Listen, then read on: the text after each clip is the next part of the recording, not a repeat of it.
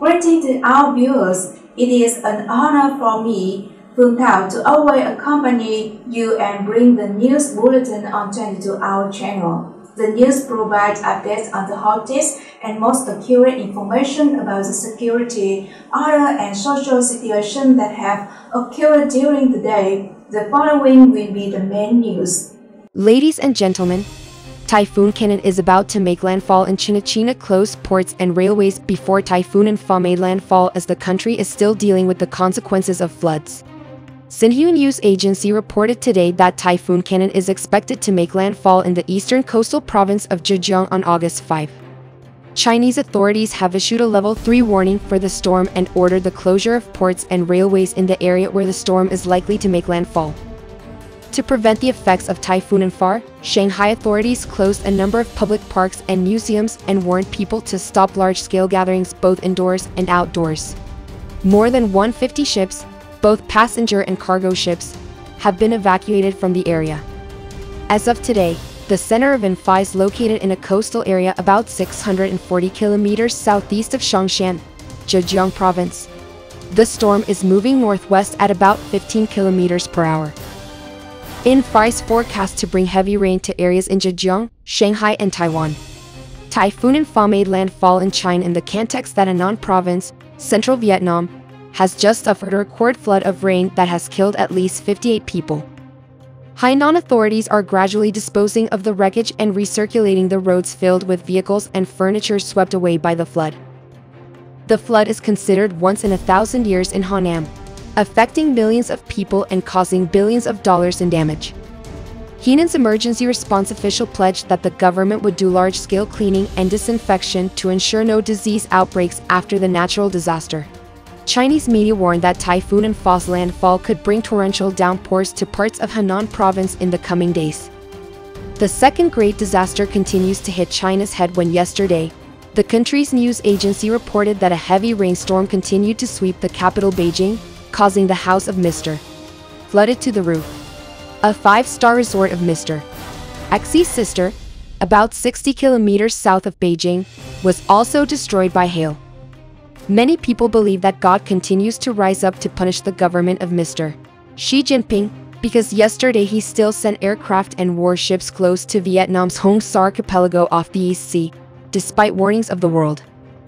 This is the cause and reason why Mother Nature, heaven and earth, continue to wait for the rains to come and destroy Xi's brother's house as well as his sister's resort.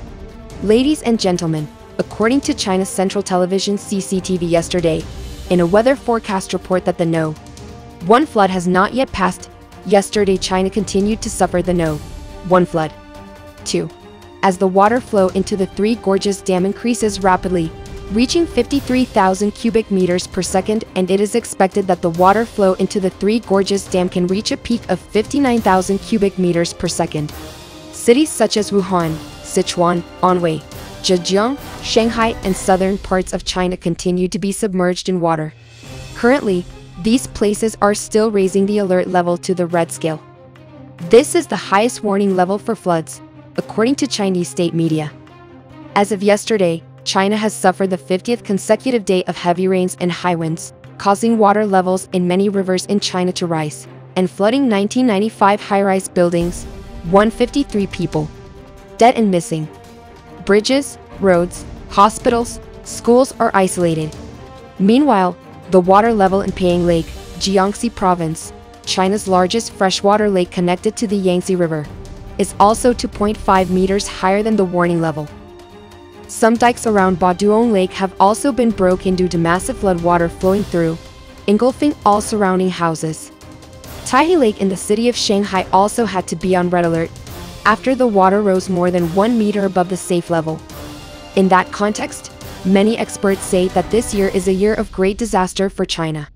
According to the prophets, from now until the end of the year, China will continue to suffer a lot of calamities that God strikes.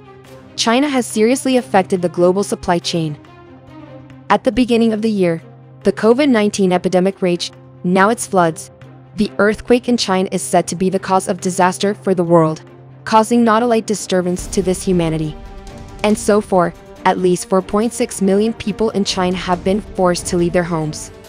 According to the South China Morning Post, the mouthpiece of the Communist Party of China, the day before yesterday floods knocked down the 10-story building. This is the private house that is confirmed to belong to Ms. Hua Chunying, former spokesperson of the Ministry of Foreign Affairs of China. Yesterday, floods continued to submerge a nine-story house belonging to Mr. Xi Jinping's younger brother and flatten a five-star resort owned by his sister. Faced with the above alarming situation and urgency, Xi Jinping is said to have urgently convened high-ranking officials of Beijing to hold an emergency meeting yesterday night to discuss and discuss plan for flood prevention. Because according to the China's Central Hydrometeorological Administration, tonight until the end of the month and into the first half of next month, China will continue to have heavy to very heavy rains. The water in the upstream places is still pouring in, and the sky is still pouring down on China. In addition, there are extreme weather phenomena such as thunder, earthquakes, and hail. Therefore, the head office of Mr. Xi Jinping had to hold an urgent meeting yesterday night. The China Morning Post, one of China's most famous newspapers, wrote that flood water at the Three Gorges Dam exceeded the red warning level by 12 meters. Mr.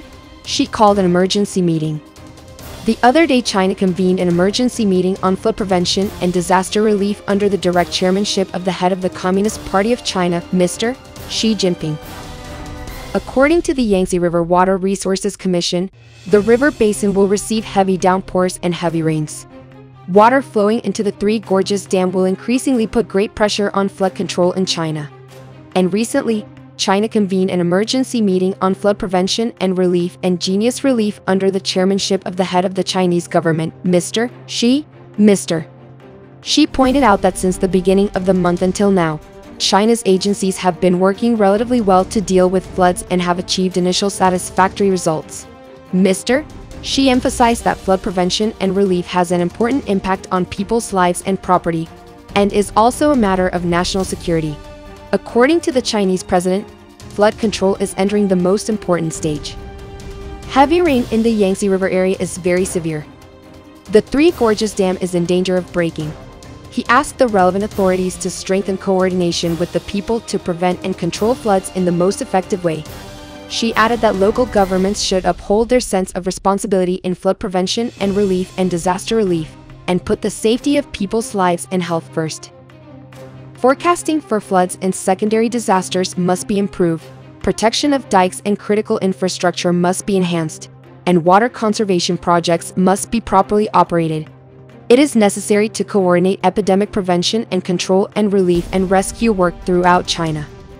In the context of complicated floods in China, the two most affected localities are Jiangxi Province and Hubei Province, where the Three Gorges Dam and the Yangtze River flow through.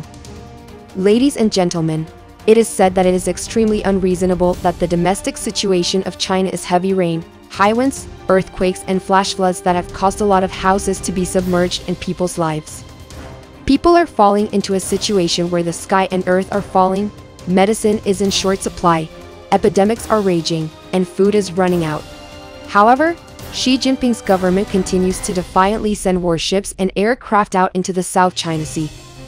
Here, it is close to the Hoang Sa archipelago of Vietnam, causing a lot of frustration for countries in Southeast Asia as well as countries around the world, including the US. According to ABC News, one of the news sites specializing in tracking the path of ships as well as activities in the South China Sea, has provided satellite images showing that China may have sent four planes and ships. The war close to the Paracel Islands belonged to Vietnam sovereignty, but was illegally occupied by China. The Times magazine cited satellite images showing that at least four Chinese warplanes illegally flew over the woody islands in the Paracel Islands of Vietnam off the coast of the East Sea. This is considered extremely dangerous and extravagant behavior on the part of China, when continuously harassing in the Paracel Islands of Vietnam and other countries in Southeast Asia, ASEAN has continuously raised its voice. Warning.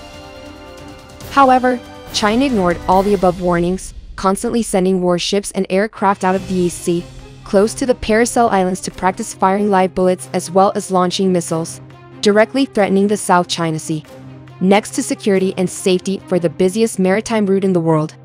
Faced with that situation, the US, Japan, Korea, Australia, the European Union, Great Britain, France, Germany, Italy, Spain, Portugal, including Russia, spoke out for Vietnam and chased them away. The Chinese side. However, Xi Jinping's administration has defiantly conducted the drills, despite China's domestic heavy rains, high winds, earthquakes and tsunamis, and direct threats to the country's health. From the Chinese side, spokesperson of the Ministry of Foreign Affairs of Vietnam, Ms. Lê Thị Thu Thu Hang emphasized that I would like to reiterate that Vietnam has full legal basis and historical evidence to affirm the two archipelagos of Hoang Sa and Truong Sa. Entirely Vietnamese and it is in accordance with international law. Vietnam believes that acts that cause insecurity and safety in the East Sea are contrary to international commitments.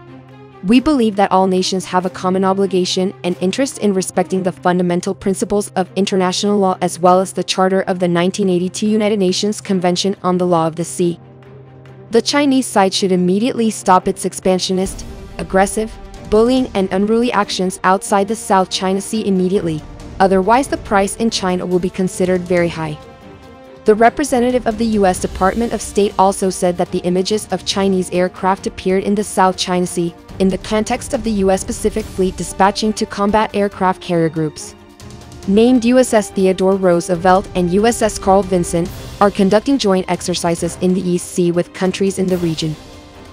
And this is the second time in less than a week that the U.S. Navy has conducted joint exercises to ensure commitment to both allies and partners in the region on an Asian region the Pacific is stable and secure. The US also said that it would protect Vietnam in the context that the Chinese side continuously increased pressure. The US considers Vietnam to be the number one reliable partner in Southeast Asia.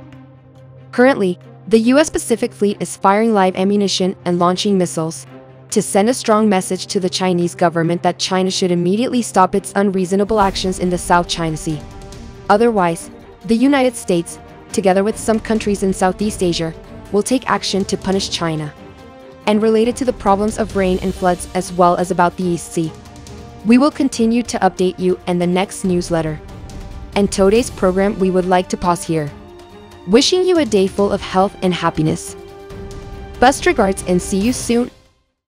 Thank you and all of you for paying attention. Please like, subscribe to the channel and turn on notification to receive the fastest and most accurate update from the channel. Thank you and goodbye. See you in the upcoming this video.